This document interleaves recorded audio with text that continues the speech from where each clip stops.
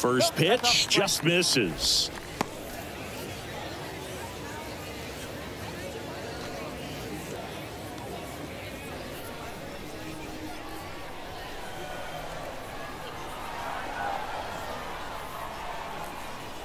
Satchel kicks and delivers. That one hammered left field. And forget it. A two-run homer, and they throw a pair on the board. It's 4 nothing.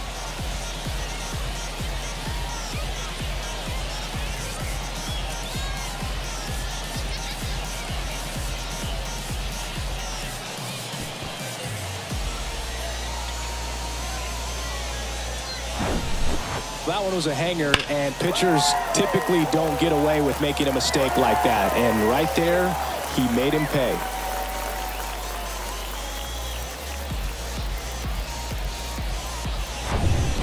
Digging in, Norm Combs.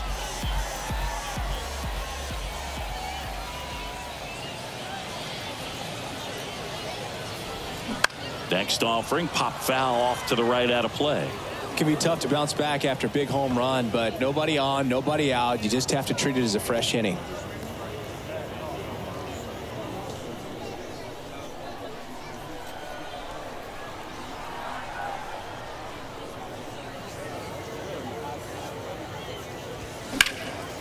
Puts it in the air out towards left center. Navarro drifts towards it.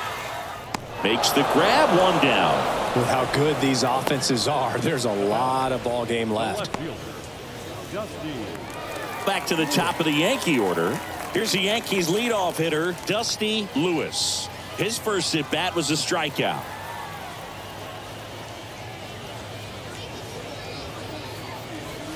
That one's in there 0-1.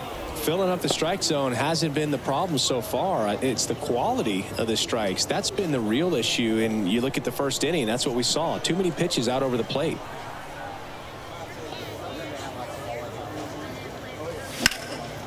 Out there to center.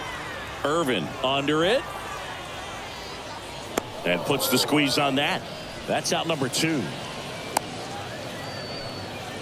The bat, the shortstop. Two outs, base is empty. Mark Collins stepping in now for the Yankees. 0 for 1 with a flyout. You talk about the power and the speed together. Well, we knew he was going to be a stud just coming up, making his way through the minor leagues, and quickly at this level, an impact player. This to center field. Irvin under it. Puts the squeeze on it. And that is the third out of the inning. Another look at the long ball for the Yankees. It's now a 4 nothing ball game. It's Major League Baseball on the show.